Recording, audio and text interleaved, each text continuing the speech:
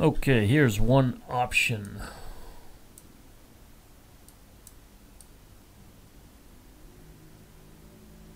You can see that uh, I've got some base storage. You're going to put cookie sheets behind this door.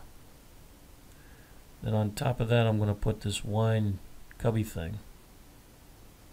These are all cubby holes. I could do some research, uh, but you we might be able to, I might be able to find a pull-out pantry storage for this space too, but this is only 12 inches wide. Gets a little dicey when it comes to that. Um, this particular company I'm using can produce this cabinetry um, with a flat door and it might match enough uh, with your existing cabinets. I can buy it finished or unfinished.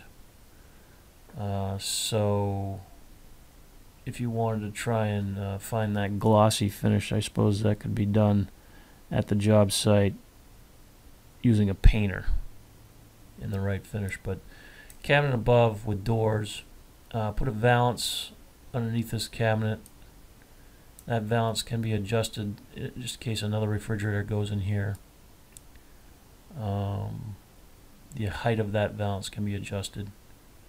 But uh, if you have a an exact 48 wide by 84 inches tall, exact, then this would work.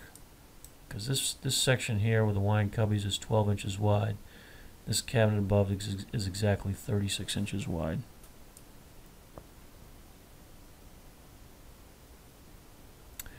This would certainly be less than $20,000. Uh, how much would this be? I don't know. I haven't figured that out, but um,